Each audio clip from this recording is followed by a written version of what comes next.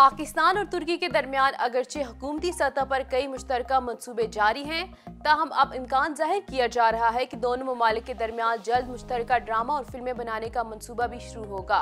तुर्की से आए शोहर आफाक ड्रामे अतरुल काजी को बनाने वाले प्रोडक्शन हाउस के चीफ एग्जीक्यूटिव ऑफिसर और मस्कूर ड्रामे के अदाकार जलाल ने वजी अजम खान से मुलाकात की। इस दौरान दोनों ममालिक के मुश्तर मनसूबे पर तबादला ख्याल किया गया। रिपोर्ट के मुताबिक तुर्क ड्रामा साज अदाकार जलाल आल की वजी अजम से होने वाली मुलाकात में पाकिस्तानी अदाकार अदनान सदीकी हुमायूं सईद, विफाकी वज़ीर अतलात शिबली फराज और शहरियार अफरीदी समेत दीगर अहदेदारों से मुलाकात हुई। मुलाकात के दौरान पाकिस्तान और तुर्की की जानब से मुश्तर तौर पर बनाए जाने वाले मुमकिन टीवी सीरियल तुर्क लाला पर तफसीली गुफ्तु की गई और वज़ीर अजम को मस्कूरा मनसूबे से मुतालिक आगाही दी गई। इसी हवाले से तुर्क खबर इदारे ने अपनी रिपोर्ट में बताया कि मुलाकात के दौरान शहरियार अफरीदी ने वजी अजम को आगाह किया कि सल्तनत स्मानियों को जंग में मदद फ्राहम करने वाले बड़े सगीर के मुजाहिद तुर्क लाला पर दोनों ममालिक मुश्तर सीरियल बनाएँगे।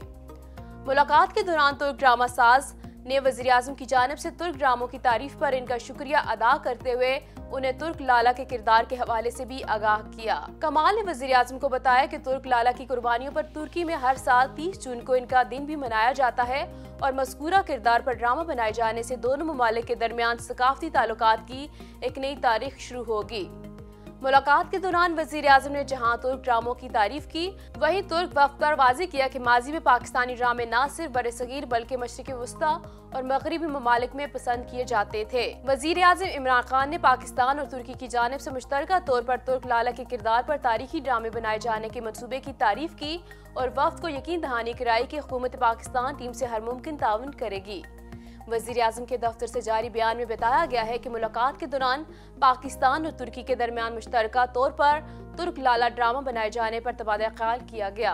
ताहम ये वाजे नहीं किया गया कि मस्कूरा ड्रामा तुर्की और पाकिस्तान की हुकूमतों के तावन से बनेगा या ड्रामे को निजी प्रोडक्शन कंपनियाँ तैयार करेंगी। ताहम ख्याल किया जा रहा है कि मुमकिन तौर पर तुर्क लाला के मौजू पर दोनों ममालिक की निजी प्रोडक्शन कंपनियाँ टीवी सीरियल बनाएँगी, जिसे मुमकिन तौर पर उर्दू और तुर्की जबान में तैयार किया जाएगा। ख्याल किया जा रहा है कि तुर्क लाला पर तुकदन फिल्म्स और अदनान सदीकी और हमायूं सईद की मुश्तर प्रोडक्शन कंपनी की जानब से सीरियल बनाई जाएगी और ड्रामे को बनाने के लिए हुकूमत पाकिस्तान भी माली मामनत फ्राहम करेगी।